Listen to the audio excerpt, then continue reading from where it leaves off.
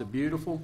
Uh, Yesterday, at, at uh, yesterday's work session, we met a couple of those um, applicants that had applied. Is, is Mr. Strickland gonna be here tonight, or? Yes. Nobody? Okay. Um, So, um, had the opportunity to meet two of them.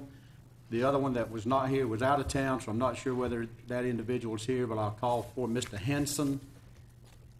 Okay, he must still be out of town. Okay, so we'll, uh, I'll entertain a motion for that appointment for the Keep Lowndes Valdosta Beautiful.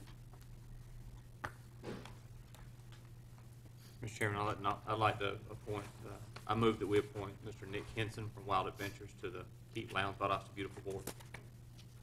Okay, we have a motion for Mr. Nick Henson. Do I hear a second? I second that. All right, we have a second. Any discussion? Hearing none, all in favor signify by aye. Aye. Any opposed, like sign.